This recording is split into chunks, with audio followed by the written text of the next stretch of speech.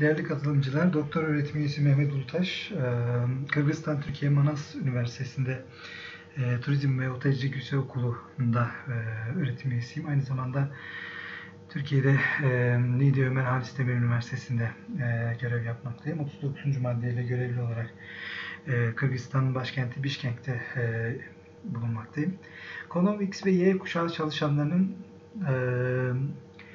bireysel yenilik davranışlarının karşılaştırılması uygulamayı da e, Kırgızistan'ın başkenti Bişkek'te yiyecek içecek işletmeleri üzerine yaptık. E, özeti geçiyorum. Genel olarak kuşak e, jenerasyon, generation kavramından söz etmek gerekirse sosyal ve ekonomik hareketler neticesinde dünya çapında oluşan zaman aralıkları ve bu zaman aralıklarında doğan, büyüyen insanların öncekilerden farklı bulunan yetişme tarzı kuşak ya da jenerasyon olarak adlandırılmıştır. Ee, günümüzde işletmelerde çok farklı yaş gruplarından olan bir başka deyişle farklı jenerasyondan olan işverenler birlikte çalışmaktalar. İşletmelerdeki çeşitli sorunların söz konusu jenerasyonlar arasındaki iş yapma biçimi, iletişim yöntemleri ya da algılamalardaki farklılıklardan kaynaklandığı düşünülmekte. Bu e, konumuzun e, e, ana e, çalışmamızın ana konusunu bu kuşak farkı ve bundan kaynaklanan problemler oluşturmakta. X ve Y kuşağı işverenleri günümüzde örgütlerde yan yana çalışmaktadır. X kuşağı iş hayatına giriş tarihlerinin daha erken olması ve tecrübelerinin fazla kıdemlerinin yüksek olması sebebiyle daha çok yönetici pozisyonunda görev alıyor. Y kuşağı yöneticileri ise e, yönetici adayı düzeyinde, e, Y kuşağı çalışanları da yönetici adayı düzeyinde e, pozisyonlar alabilmekte.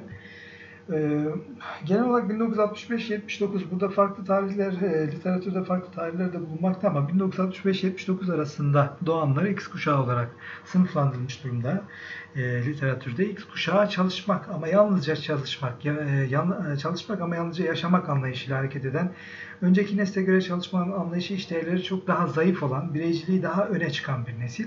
Bu kuşak bilgisayarlarla ilk tanışıyor ve bilgisayarlarla büyüyor. E, yeni ilk nesil olarak ifade edilebilir. Ekonomik ve sosyal problemlerden etkilenmeleri sebebiyle önceki kuşaklara göre daha kötümser ama kendine daha çok güvenen e, ve kendine inancı yüksek olan bireyler. Y kuşağı 1980-2000 e, arasında e, doğanlara e, milenyum kuşağı ya da Y kuşağı olarak adlandırılan kuşak. Bu küreselleşmenin bir ürünü olarak ifade ediliyor. Teknolojik gelişime ve teknolojide kullanım kolaylığına, teknolojiye erişime, e, erişim kolaylığına ulaşan bu kuşak için teknoloji yaşamın temel taşlarından bir tanesi. Y kuşağının sosyal yönden en önemli özelliklerinden birisi özgürlüğüne düşkünlüğü ve teknolojiye merakı. Özellikle çok kanallı televizyonlar Y kuşağı insanını önemli ölçüde etkilemiştir. İnternetin yaygın olarak kullanıldığı çağda genç sayılacak yaşta yetişmiş olmaları, erişmiş olmaları bilgi ve iletişim teknolojilerinden çok iyi yararlanmalarını beraberinde getirmiştir.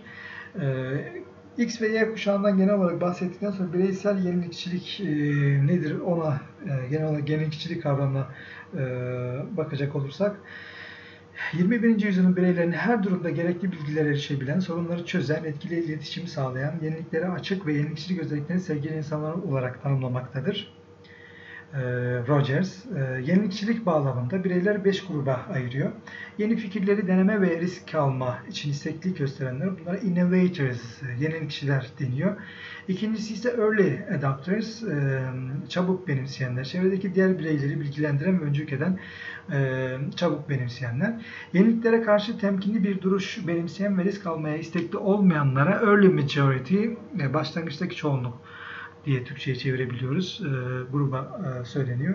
Yeniliklere şüpheyle yaklaşan, çekingen davranışlar gösteren, e, değişime direnen ve bir takım ön yargıları olanlara sondaki çoğunluk, late majority e, adı veriliyor. Sürecin en sonunda yenilikleri benimseyenler ise laggards, geç kalanlar e, tabiri kullanılıyor.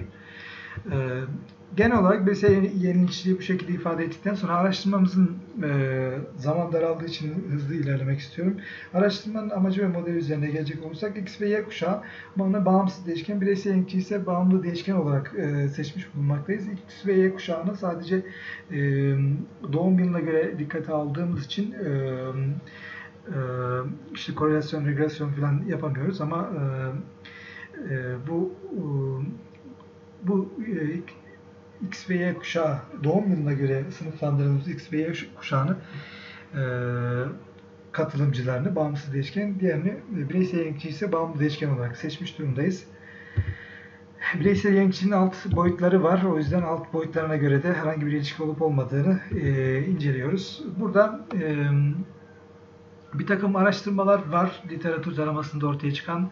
E, bunlar e, sunumda göre Yiğit ve Aksa 2015'te e, ve Başoğlu, Eder, Zank e, ve diğer e, araştırmacılar bu kuşaklarla yenilikçilik arasında bir takım ilişkiler e, elde etmişler. Buna ilişkin olarak biz de e, e, özellikle e, temel e, boyut e, alt boyutları dışında tutmak suretiyle temel e, anlamda 5 e, tane demografik faktörleri dikkate alarak e, yaptığımız e, hipotezler var. 5 tane hipotezimiz var. Ya, cinsiyete göre anlamlı olarak farklılaşıyor mu? Kuşağa göre anlamlı olarak farklılaşıyor mu? Medeni hali, bireysel yenilikçilik davranışının eğitim durumuna göre ve çalışma süresine göre anlamlı bir şekilde farklılaşıyor mu? Bunu araştırmış bulunmaktayız. Buna ilişkin bir anket şeyimiz var, e, çalışmamız var. Bu özellikle bireysel yenilikçilik e, e, e, ölçeği 5 ildiker tipine göre alınmış durumda. Araştırmanın ölçeği bireysel yenilikçilik ölçeği Hurt ve Cook e, tarafından geliştirilmiş Individual Innovativeness Scale adı altında. E, bunun Türkçe formu Sarıoğlu tarafından e, yapılmış, çevrilmiş. Örnek sorular mesela fikir önderliği, değişime direnç ve risk, risk alma olmak üzere 3 bu bizim araştırma ölçeğimizde 3 e, alt boyut söz konusu. Fikir önderliği, değişime direnç ve risk alma boyutu. Fikir önderliğinde bir şey e, mesela örnek soru olarak bir şey yaparken yeni yollar olup olmadığını araştırırım e, yenilikler konusunda gruba liderlik etmekten hoşlanırım e, şeklinde buna, buna benzer sorular sorulmuş durumda. Değişime direnç alt boyutunda ise yeni fikirlere karşı şüpheci davranırım. Eski yaşam tarzının ve işleri eski yöntemlerle yapmanın en iyi olduğunu düşünürüm. Bu da değişime direnç alt boyutunun örnek e, olarak e, sorular. Buna, buna benzer başka sorularımız da. Risk alma alt boyutu ise cevaplanmamış sorular beni çözüm bulmaya yöneltir. Yeni şeyler denemekten hoşlanırım ve diğer sorular. Örneklem büyüklüğü 216 e, toplam anket 232 e, adet soru e, anket formu geri gelmiş ama bunların bir kısmı çıkarılmış durumda. 216 olmuştur. Demografik faktörleri zamanım daraldığı için tek tek ifade etmek istemiyorum ve hızla sonuç ve e, önerilere e, gelmek istiyorum. Sonuç e, hipotezlerle ilgili T değerleri, e, F değerleri, P, P, de, P değerleri ve kabul red durumları ekranda gösterildiği şekilde. Burada şöyle bir sıkıntımız oluştu. Yani araştırmanın özellikle